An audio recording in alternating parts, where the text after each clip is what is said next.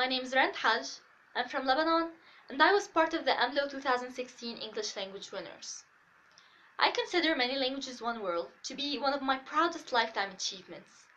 It's been nothing but positives ever since the beginning with the essay on multilingualism.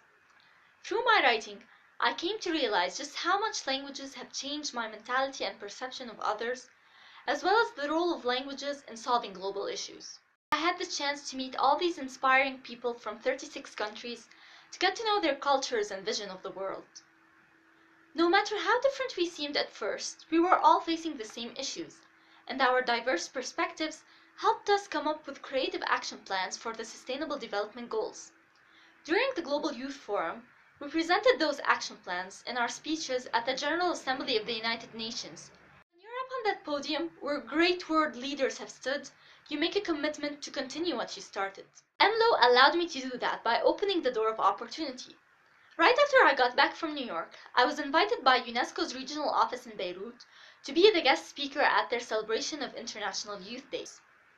This led to me working alongside UNESCO's Networks of Mediterranean Youth project. After that, I was invited to the sixth International Forum of NGOs held in Querétaro, Mexico, as part of the panel on The Voices of Youth World Citizens for a Culture of Peace.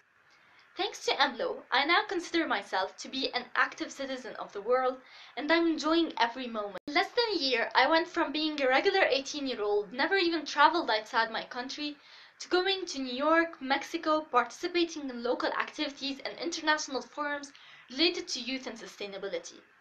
You can be just like that, and much, much more. So sign up for MLOW 2017 and join the MLOW Wave of Success.